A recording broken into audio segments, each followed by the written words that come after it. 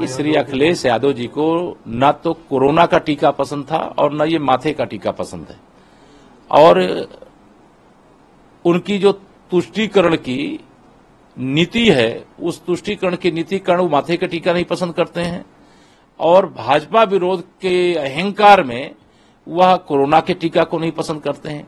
उनको इस एक पढ़ा लिखा इंसान, एक कई बार सांसद रहा हुआ व्यक्ति, पाँच साल तक प्रदेश का मुख्यमंत्री रहा हुआ व्यक्ति अगर कोई वैक्सीन पर सवाल उठाए हुए तो मैं समझता हूँ कि इसे उनका बचकाना बयान कहा जाएगा। ये वैज्ञानिकों का अपमान करने वाला बयान कहा जाएगा।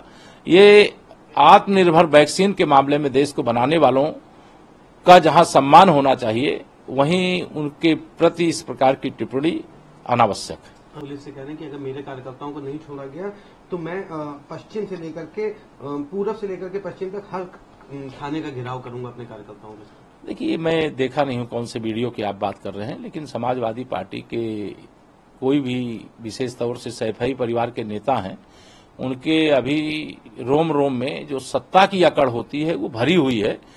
मतलब जैसे कहते हैं रस्सी जल गई है लेकिन ऐठन नहीं गई है वही स्थिति रहती।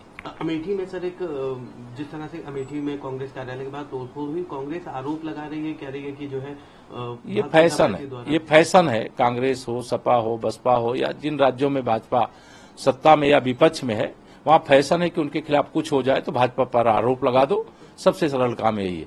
लेकिन जो सच होगा वो जाँच में सामने आएगा और जो दोषी होंगे उनके खिलाफ कार्रवाई सर एक आखिरी सवाल रहेगा। बचने वाली है। सपा और कांग्रेस सपा और कांग्रेस दोनों अंतर कलह का शिकार। अगर सपा में चाचा भतीजे और चचेरे भाइयों में नहीं पड़ती है तो कांग्रेस के अंदर भाई और बहन में नहीं पड़ती है। ये सार्वजनिक हो चुका है किसी से छिपा नहीं। लेकिन इससे हमें लेना देना नहीं है। हमारा तो एक ही बात कहना है कि सपा समाप्तवादी पार्टी बसपा बिल्कुल समाप्तवादी पार्टी कांग्रेस मुक्त भारत। सर क्या लगता है जिस तरह से उन्होंने कहा कि चार जून के बाद कांग्रेस के दो फाल हो जाए क्या लगता है सच्चाई ये अब उनसे उन्होंने क्या कहा है मैं देखा नहीं लेकिन चार जून को 400 पार होगा।